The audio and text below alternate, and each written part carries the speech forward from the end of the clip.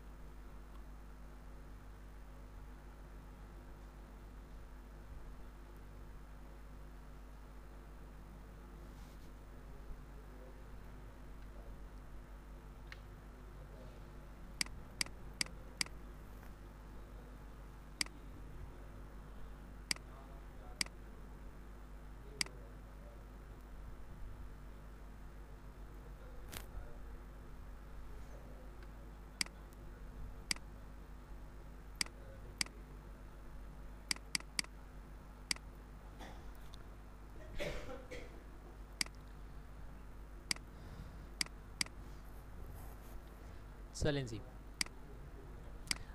ये कुछ लेआउट तैयार है ठीक है? अब यहाँ पे काम करते हैं कि हम किस तरीके से इस जगह पे अपना रिज़ल्ट और डेटा लेकर आते हैं ठीक है? तो वही पुराना लेक्चर है पुरानी बात करेंगे सबसे पहले। आ, हम इस जगह के ऊपर अपने सीट नंबर रखेंगे। तो आपको सीट नंबर लगाने का तरीका मैं बता देता हूँ। अपने पास जो आप फार्मूला लिखेंगे वो फार्मूला कैसा होगा? उसके अंदर सबसे पहली वैल्यू कहलाएगी स्टार्टिंग सेल क्या कहलाएगी? स्टार्टिंग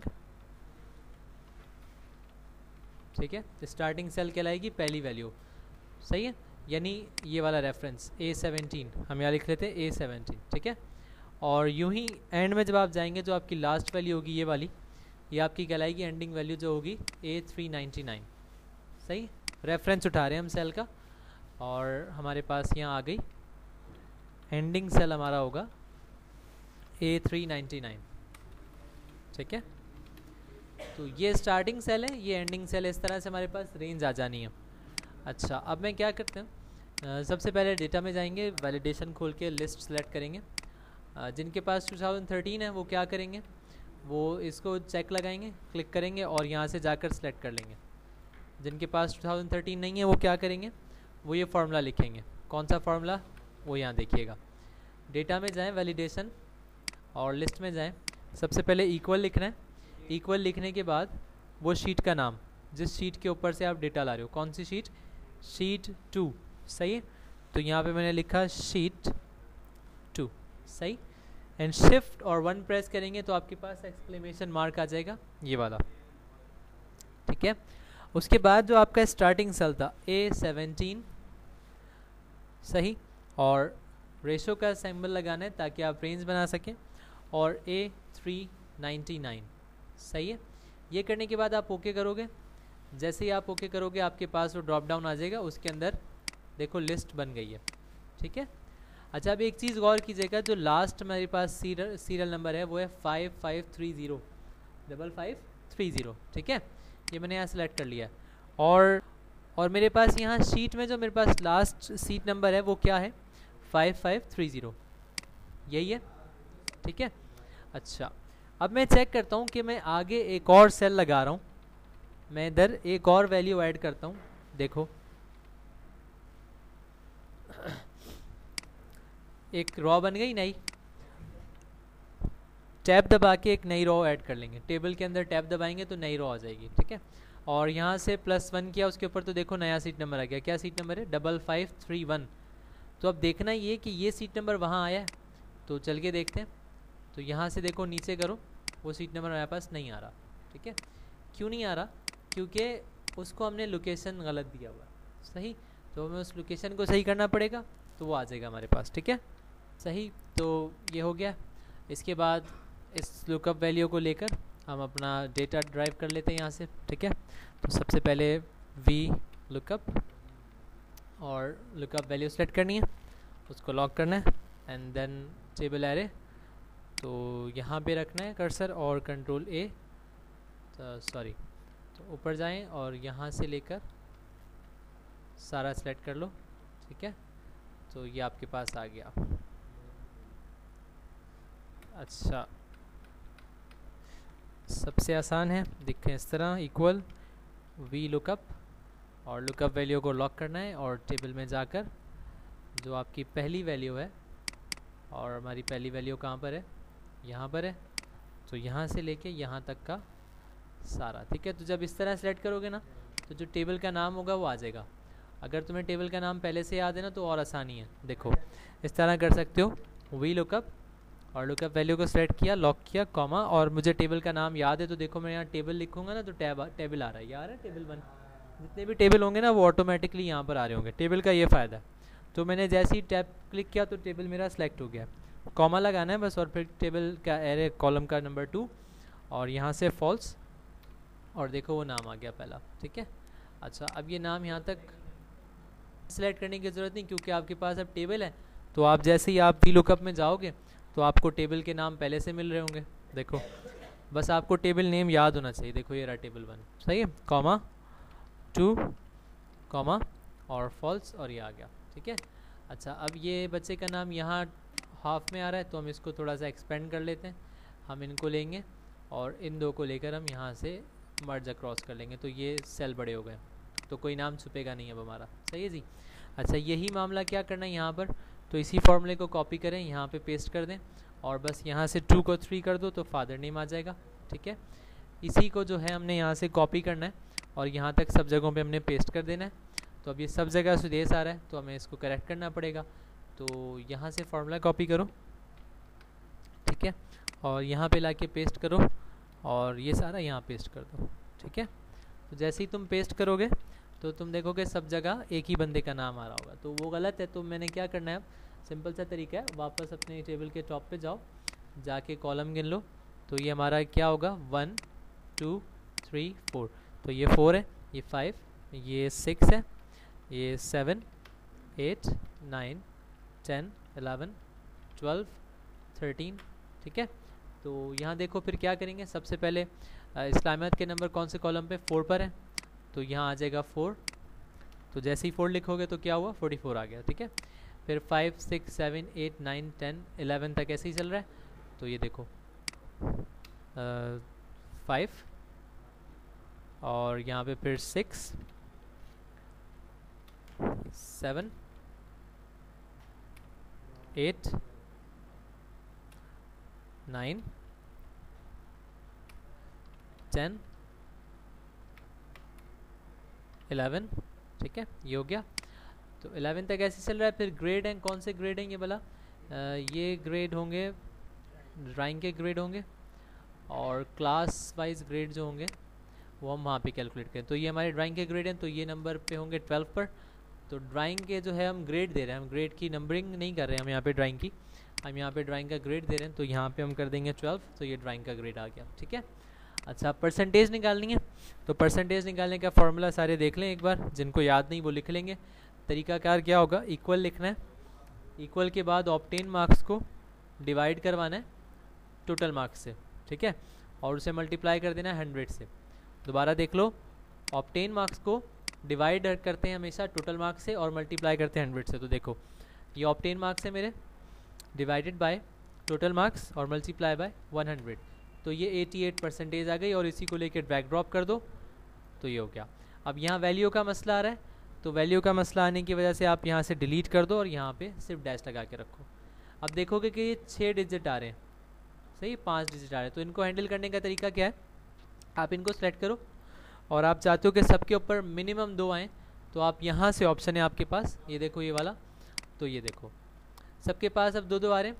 पहले जिसके नहीं थे, अब उसके भी आ रहे हैं। आप यहाँ से इंक्रीज़ भी कर सकते हो, आप यहाँ से डिक्रीज़ भी कर सकते हो। तो प्रेफरेबल यही है कि आप यहाँ से दो ही रखें, वो ही सही तरीका होता है। दो ही हर जगह इस्तेमाल की ज़रूरत है। ठीक है? सही जनाब तो ये हमारी परसेंटेज आ गई इधर। अच्छा अब ये परसेंटेज हमारी वेरी होती रहेगी। वेरी का मतलब चेंज होती रहेगी। जैसे सीट नंबर चेंज होगा परसेंटेज देखो चेंज होगी, सब कुछ चेंज होगा, ठीक है? अच्छा यहाँ क्लास लगाना रह गई। क्लास और सेक्शन लगाना हमारे पास रह गया। तो हम यहाँ पे क्लास के लिए क्या करेंगे? हम इसी फॉर्मूले को कॉपी करेंगे। ये वाला फार्मूला हमने यहाँ कॉपी किया और यहाँ क्लास में लिख दिया इधर लाकर, ठीक है? सेक्शन में भी यहाँ ला के रख दो तो ये सेक्शन में इधर आ जाएगा, ठीक है? अच्छा अब क्लास कौन से कॉलम नंबर पर है भाई? तो ये फोर्टीन है फिफ्टीन सिक्सटीन सेवनटीन ठीक है? अच्छा अब यहाँ पर हम क्या करेंगे? क्लास देख लेते हैं कौन से कॉलम पर है। क्लास है फिफ्टीन पे और सेक्शन है सिक्सटीन पर। ठीक है? तो यहाँ लिख लो फिफ्टीन ये क्लास आ गई और यहाँ सेक्शन में लिख लो सिक्सटीन तो ये सेक्शन आ गया। ठीक है जनाब? अच्छा सेशन जो है सेशन मतलब साल जो होता है वो हम मैनुअली खुद से करेंगे। हम सेशन में क्या लिखेंगे भाई? आ, हम इसको यहाँ से पहले कट करेंगे यहाँ पेस्ट करेंगे। और हम सेशन के अंदर हम यहाँ पर लिखेंगे 2018-19 ठीक है?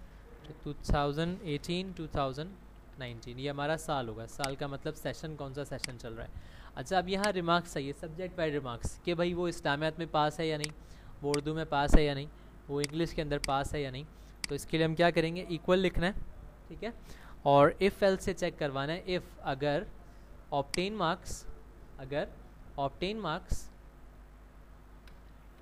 अच्छा यहाँ होता है पास 40 परसेंट वाला। हम यहाँ चेक करवाएँगे कि अगर कोई भी परसेंटेज 40 परसेंट से कम है तो यहाँ फेल आ जाएगा लिखा हुआ।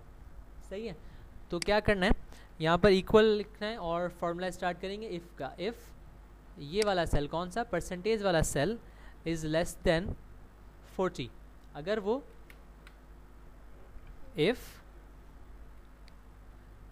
परसेंटेज लेस देन 40 अगर परसेंटेज 40 से कम है तो फिर क्या होगा?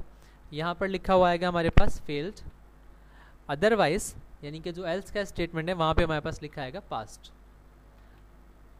ठीक है जनाब? ये फॉर्मूला आप सब लिखेंगे ताकि आपको याद रह जाए। और जैसे एंटर किया तो देखो पास आ गया। और ये ड्रैग ड्रॉप कर दो। तो जो जो 40 परसेंट से कम है, देखो, जो जो 40 परसेंट से कम है, वो फेल आ रहा है। और जो 40 परसेंट से ज़्यादा है, वो पास में आ रहा है। ठीक है? तो इस तरह हमारा पास और फेल कैलकुलेट हो गया। अच्छा अब यहाँ पर रिमार्क्स चाहिए किसके? ड्राइंग के। तो ड्राइंग के रिमार्क्स का कॉलम मैंने यहाँ पहले से सेट कर रखा है टेबल मैंने आपको दिया है, आप वहाँ से कॉपी कर लेंगे। नंबर 17 के ऊपर ड्राइंग के मार्क्स हैं। तो नंबर 17 इसी फॉर्मूले को कॉपी करें, इसको यहाँ पेस्ट करें और यहाँ पर 17 लिखें। जैसे आप 17 लिखेंगे तो ड्राइंग के भी रिमार्क्स आ गए। ठीक है अच्छा यहाँ क्लियर लिखा है तो हम भी प्रेफर करेंगे कि यहाँ पास फेल के बजाय यहाँ पे क्लियर लिखें। नॉट क्लियर कि भाई नहीं क्लियर किया और दूसरा लिखेंगे क्लियर्ड कि भाई क्लियर कर लिया। और एंटर करो और अब इसको ड्रैग ड्रॉप कर दो तो ये ज़्यादा बेहतर रहेगा, ठीक है? अच्छा ओके अब इस सेल को थोड़ा सा हम इंक्रीज़ कर लेते हैं तो ये सेल इंक्रीज़ हो गया और इन सबको हम लेफ़्ट अलाइन करेंगे और इसका फॉर्मेट उठाकर यहाँ से थोड़ा सा इंक्रीज़ कर लेंगे। सही है जी? तो ये भी हमारा यहाँ पे सेट हो चुका है। ओके अब बारी है किसकी? परसेंटेज लेने की ग्रेड लेने की कंजक्ट और ये सब करने की, ठीक है?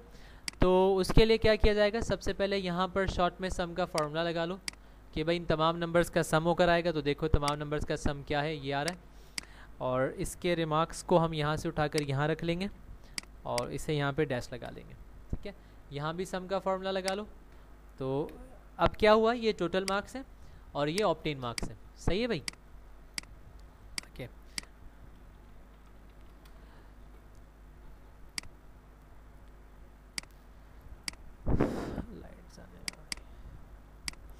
ठीक है ये हमारे टोटल मार्क्स हैं यानी कि मैक्सिमम और ये हमारे ऑप्टेन मार्क्स हैं। तो परसेंटेज निकालने का फॉर्मूला अभी रिसेंटली हमने देखा स्टडी किया। आ, हमें क्या करना होगा? ऑप्टेन मार्क्स को डिवाइड करवाना होगा। टोटल मार्क्स से और मल्टीप्लाई करवाना होगा हंड्रेड मार्क्स से ठीक है? और एंटर करोगे तो देखो ये आ गया। यहाँ पे एक डिजिट आ रहा है तो आप यहाँ से इंक्रीज़ कर लो तो दो डिजिट आ जाएँगे। इसकी परसेंटेज है फोर्टी सिक्स परसेंट ठीक है? क्या परसेंटेज हुई इसकी? फोर्टी सिक्स परसेंट ओके अब सेकंड हमारे पास क्या स्टेज है? बिल्कुल सेम तरीके से परसेंटेज निकालिए। देखो, यहाँ भी यही फार्मूला है और यहाँ भी यही फार्मूला है। सही है? अब सेकंड स्टेज है हमारे पास। बिल्कुल चेंज होगा। आप यहाँ पर इसको हंड्रेड करके देखो। तो यहाँ भी चेंज होगा और यहाँ भी चेंज होगा। सब जगह पे चेंज होगा। ये तो डेफिनेटली होगा ना। यही तो टास्क है, ये देखो। ऊपर जाओ और यहाँ से देखो। ये सब नंबर चेंज हुए परसेंटेज भी चेंज हो गए। आ गया ए प्लस में, ठीक है? ओके नेक्स्ट क्या टारगेट है? नेक्स्ट टारगेट है हमारा रैंक कैलकुलेट करवाना। अच्छा रैंक हमारे पास वहाँ पहले से लेकर आए हुए हम। ये देखो, ये लेकर आए हुए हम रैंक और अटेंडेंस लाए हुए हैं। तो हमें मेहनत करने की ज़रूरत नहीं है थर्टीन पे रैंक है फोर्टीन के ऊपर अटेंडेंस है। तो क्या करेंगे? इसी को कॉपी किया और इसको कट करके थोड़ा सा आगे बढ़ाएँगे। ठीक है? अच्छा यहाँ पर हम ले आएँगे रैंक को और यहाँ पर हम ले आएँगे अटेंडेंस को। अच्छा रैंक किस नंबर पे है भाई? थर्टीन फोर्टीन तो इधर कर दें आप क्या? थर्टीन और यहाँ पे आप क्या कर दें? फोर्टीन सही जनाब? तो ये भी आ गया। ठीक है? अच्छा।